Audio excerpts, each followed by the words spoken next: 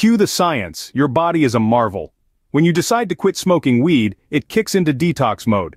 The liver, a real powerhouse, metabolizes and eliminates THC, the main psychoactive compound in cannabis.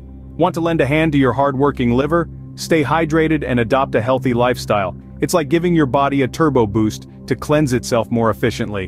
Now let's take a deep dive into the brain, the endocannabinoid system to be precise. Prolonged cannabis use can cause a downregulation of cannabinoid receptors. But the moment you quit, these receptors start to upregulate, restoring the natural balance of the system. This process normalizes various physiological functions. Your body, a self-healing machine, always strives for balance. Quitting weed? Your body's got this covered. Remember, you're stronger than you think.